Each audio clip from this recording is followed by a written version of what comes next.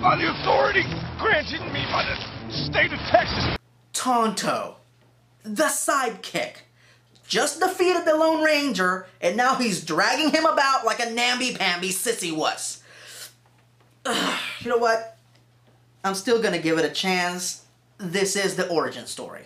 Eventually, Dan catches up with them and arrests Tonto. Later, Rebecca, Dan's wife, shows up to check on them and, um...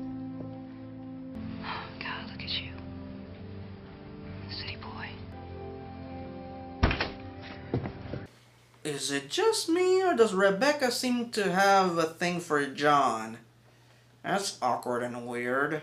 Dan assembles a posse to track and capture Butch Cavendish. And he deputizes John and asks him to come along. Um, why? He's a lawyer, not a ranger. He doesn't like to use guns, and you already saw him try, emphasis on the word try, to apprehend two fugitives. You. Guess he just feels sorry for his little brother. And thus we get to the most famous part of the story. And I have the distinct pleasure of telling you the legend of the Lone Ranger. Eight rangers entered a canyon under the blistering sun searching for outlaws. But instead, they found an ambush. Eight rangers were gunned down. Eight rangers fell to the ground. Eight rangers went into that canyon, but only one came back out. A Lone Ranger.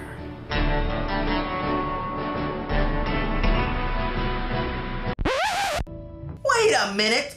What is Tonto doing there? Last time we saw him, he was in jail. How did he escape? How'd you get out of jail anyway?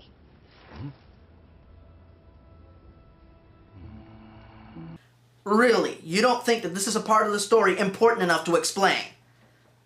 Ugh.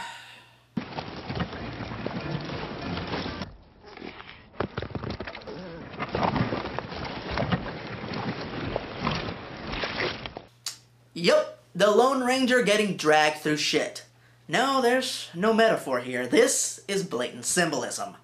John wakes up only to find that Tonto has nursed him back to health and placed him atop a tall wooden structure. I would ask how exactly Tonto carried him up there, but I'm sure this is one of the many things in this movie that will not be explained.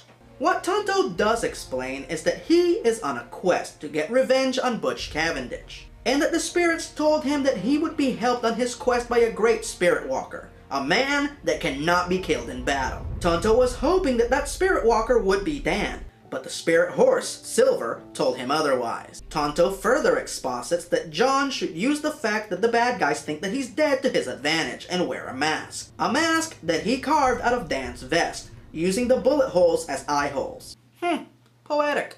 John reluctantly agrees to join him as the Lone Ranger, for the sake of bringing his brother's killer to justice. Not a man. An evil spirit born in the empty spaces of the desert.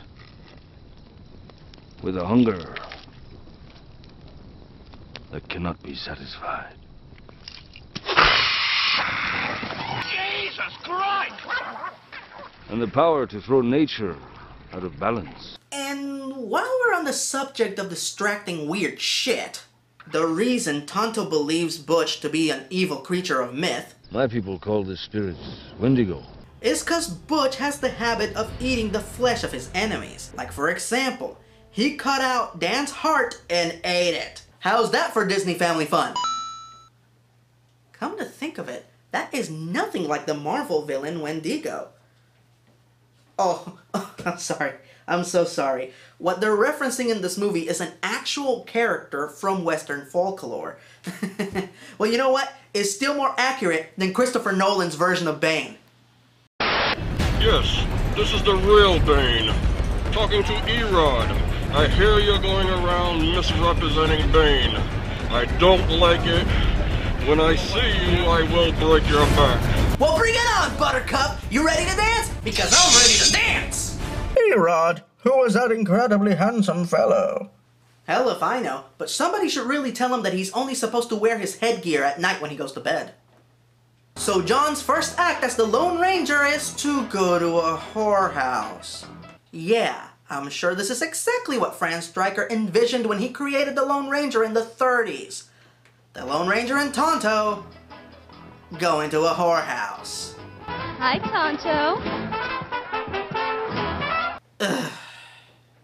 Our heroes make inquiries about the ranger that betrayed them, as he apparently was a regular at this particular establishment. So they go to talk to the owner. Helena Bonham Carter! Helena Bonham Carter. Oh, I'm sorry, I forgot we weren't playing Tim Burton Bingo. My bad. Ma'am? What's with the mask? I know, I know, I know. It's just a little running gag. Anyway, Helena plays the madam of this brothel, and her name is Red Harrington. what? Was misdirecting MacGuffin taken? Cole is, uh, well, he is no longer guided by the same imperatives as other men. Is this supposed to be a joke at the expense of heterosexual men? You know, how we still find fake breasts appealing, and since this is the Wild West and women dress more conservatively, men would find a bare prosthetic leg just as appealing as a real one. Cause if that's the case, that is one elaborate joke. Want to touch? Uh-uh. Not if you favor your hand.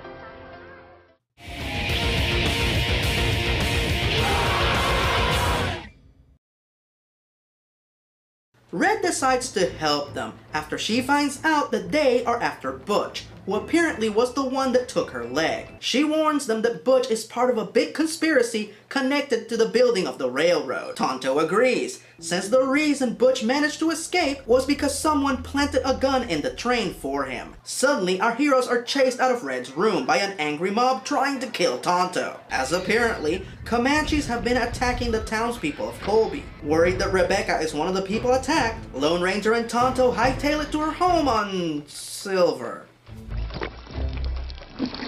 Nature is indeed out of balance. That is extremely similar to a scene from The Legend of Zorro. Hey, hey, get it out. You had enough. You know what? It's probably one of those silly coincidences that I am usually so sensitive to. Our heroes arrive at Rebecca's home only to discover two things. One, that Rebecca and her son Danny are missing. And two, that it wasn't the Comanche attacking the people of Colby. It was Butch's men disguised as Comanche. The villains trap Lone Ranger and Tonto in the barn, and then set the barn on fire. Texas Ranger! Oye, what's with the mask? Come, come, little running gag. Let's see if we can sell this epic to Disney.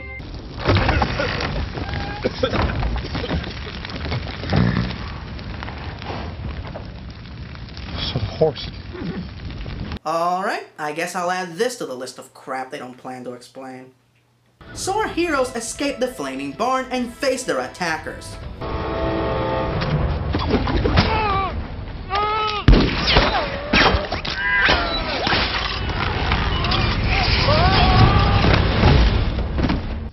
Great shot. That was supposed to be a warning shot. In that case, not so good. Alright, stop, stop, stop, stop, stop, stop, stop! I respect the fact that Ted Elliott and Terry Rossio are trying to create their own version of the Lone Ranger, where he is a tenderfoot from the city that becomes a badass lawman. But they should at least still respect the integrity of the character. And the one attribute the Lone Ranger has had in all of his different incarnations is that he is an expert marksman. He never misses, and if he does, there's generally a good reason. If he meant to fire a warning shot, then he would have fired a warning shot. Nailing the bad guys by accident like he's Inspector Clouseau or Mr. Magoo is just insulting. And don't you dare tell me that he did that ricochet bullet trick on purpose, because there's only one cowboy that can pull that off, and he is the best there is.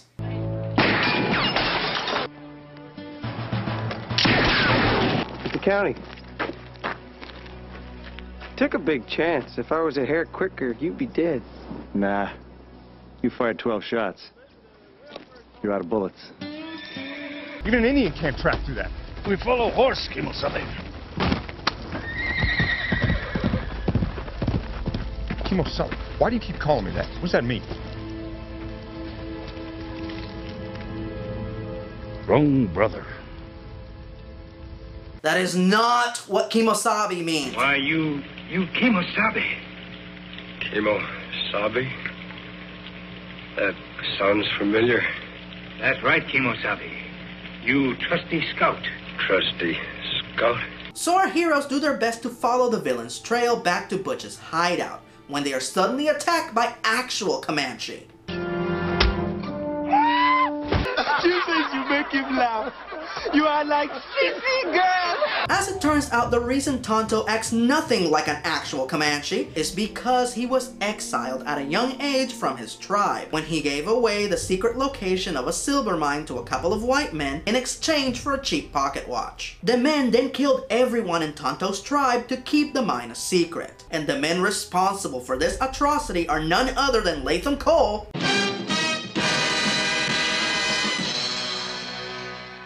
and his brother Butch Cavendish, who we already knew was a bad guy, so it's not quite as shocking.